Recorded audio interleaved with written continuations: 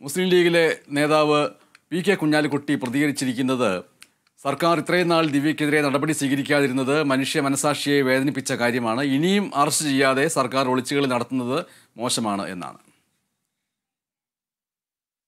നടപടി എന്നോ ഉണ്ടാവേണ്ടതാണ്. ഇത്രയും ദിവസം യാതൊരുവിധ നടപടിയും ഇല്ലാതെ പോയത് തന്നെ ശരിക്കും പറഞ്ഞു കഴിഞ്ഞാൽ ഒരു മനുഷ്യ മനസാക്ഷിയെ വല്ലാതെ വിഷമിപ്പിച്ച ഒരു കാര്യമാണ്. ഇപ്പോൾ കോടതി ജാമ്യം നിരാകരിച്ച സാഹചര്യത്തിൽ ഇനിയെങ്കിലും നടപടി എടുത്താലേ ആ കുടുംബത്തിനെ സംബന്ധിച്ചിടത്തോളം ഒരു സാറ്റിസ്ഫാക്ഷൻ ഉണ്ടാവും ആരായാലും നിയമത്തിന് അതീതരല്ലല്ലോ. കാരണം ഇവിടെ ഒരു മരണം കൂടി സംഭവിച്ച കാര്യമല്ലേ? നേരാവണ്ണം ചിന്തിക്കുന്ന ഒരു ഗവൺമെന്റാണ് എന്നുണ്ടെങ്കിൽ അപ്പം തന്നെ നടപടി എടുത്ത് മുന്നോട്ട് പോകാൻ പറ്റുന്നത് ചെയ്യാതിരുന്നപ്പോൾ അതിന്റെ ഗ്രാവിറ്റി ഒന്നും കൂടി വർദ്ധിച്ചു.